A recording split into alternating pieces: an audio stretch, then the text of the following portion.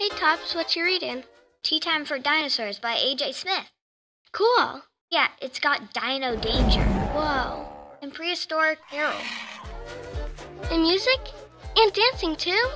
Yup, there's even cookies and cupcakes. And a tea party? You could say it's delicious. Tea Time for Dinosaurs by A.J. Smith. Available at your local bookstore and online.